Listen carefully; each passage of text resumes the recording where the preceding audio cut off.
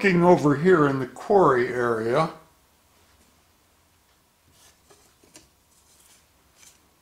I wanted to separate this area from this area by elevation. So I've put a very low piece of foam here. That's about five eighths or three quarters of an inch.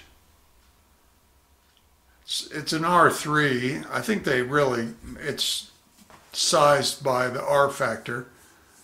Um, that's the insulation factor.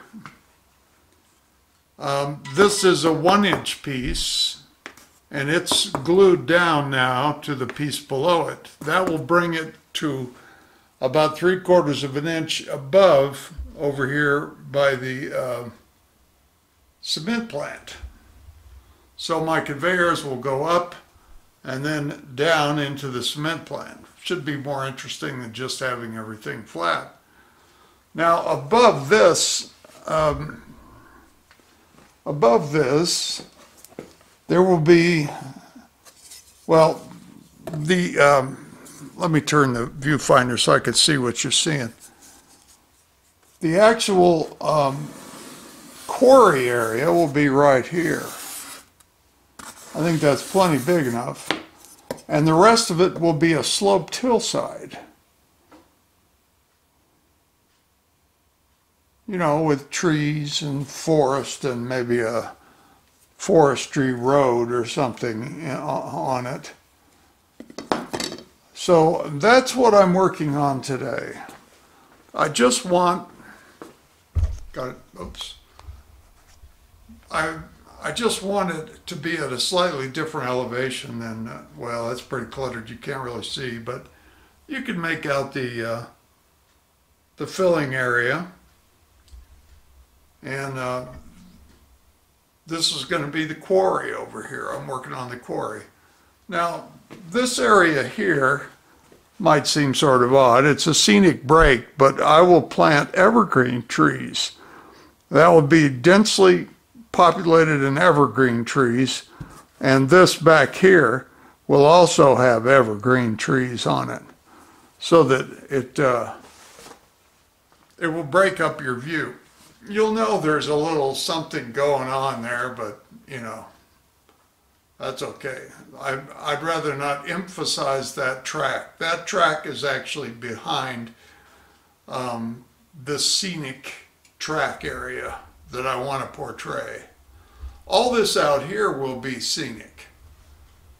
Everything down along the front of the table, but uh, as it as the table goes further to the back, that will be less and less emphasized as actual scenery.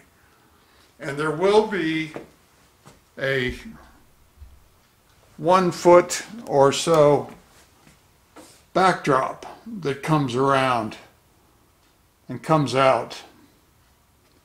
These tracks will go through it and I'll try to disguise them with trees and things. So that the overall uh, feeling is that you're looking at a diorama more than um, just looking down at a layout. That's the plan anyway. We'll see how it all turns out. Back after a while when I get more progress.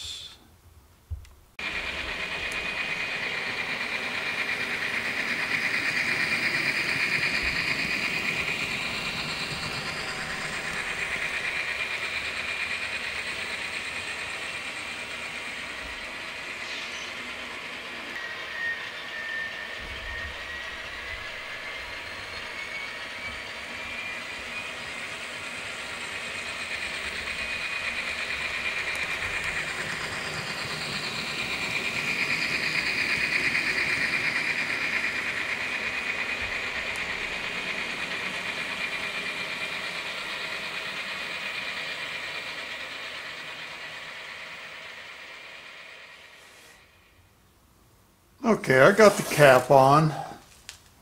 Got some pins to pull out of here. I had to use quite a bit of weight to get it to curve a little bit, and I slid it. Um, Over here, I will fill in vertically around here, and then I'll use plaster to uh, finish out the shape. I might bring this back a little further. Not really sure. I, I'm undecided about that. And I'll fill in the back some degree, give it structural strength because you won't see that. And because this is the viewing side, that's, you know, that's just the back. And uh, so you, you won't see that. I'll have to fill in this side, but the back scene will be up around and come out. So it, um, it really won't, it's not going to show much. I mean, it shouldn't show at all, I hope. But uh, that's progress so far. So next thing I want to do is I want to paint this. I want to paint it the right color. Um, over there, I just went ahead and put the, well, you can't see it very well. There's too much stuff in the way there. See if I can get that to move. Get this out of your view. But uh, over there, see if we can zoom in a little bit. As you recall, I did not use anything but the grout to color it with. And, you know, that, that seems to have worked adequately, but um, outside of that uh, the area there that's going to be the dead zone as far as vegetation is concerned. Probably want to um,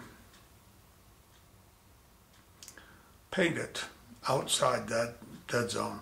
I have a good deal more of that to work on up there. And I did get some gray grout, which I've sprinkled around, which has toned things down a little bit and I think it's closer to a, a gray color uh, on the ground than it is a white, which is, uh, that's pretty white there. And that, but, but I toned it down a little bit. I put some, uh, I put some of the gray grout, I'll show it to you. It's not, it's not dark gray, but it's, it's gray. I put it in a, the toe of a stocking and sprinkled it around. And uh, when I'm done, I'll, I'll, probably spray that to, to keep it, at least with some, some uh, hairspray, if nothing else.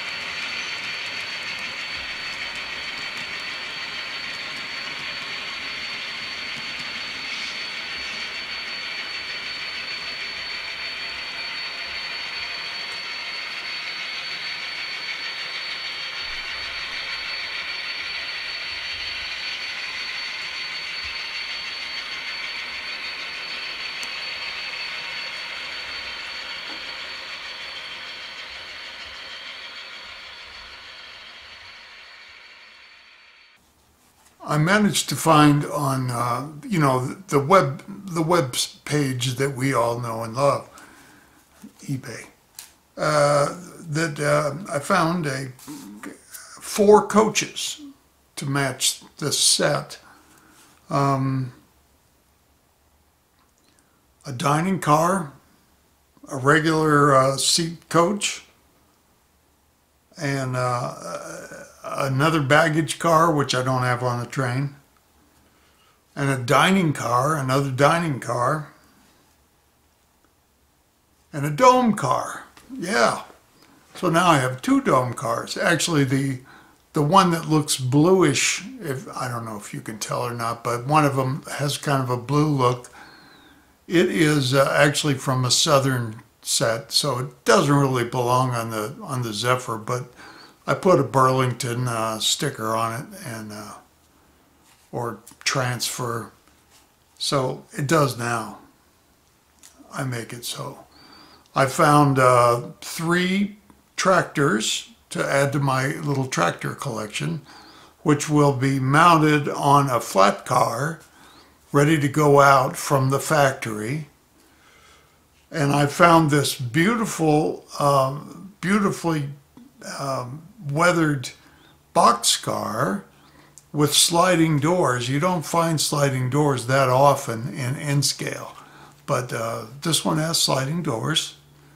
And uh, I also found a different style way car. I used to call them cabooses, but uh, I found out that in the Burlington uh, lexicon, they're called way cars. So some new additions uh, to the uh, to the railway, the railroad. It's hard to get out of the habit of saying railway. I've said it for so many years. So things are coming along. Um, I also uh, was able to get a set of uh, cheaters glasses that uh, that magnify that that are my prescription. Uh, when my event happened, it changed my eyes, and uh, I had to get a new prescription. And I've been waiting for glasses to come in. I got a set of hobby glasses and a set of reading glasses because distance I can still see just fine. But um, yeah, makes all the difference in the world. It uh, when you're trying to see little things and you can't see them and you're guessing, you know, it, it just doesn't work very well.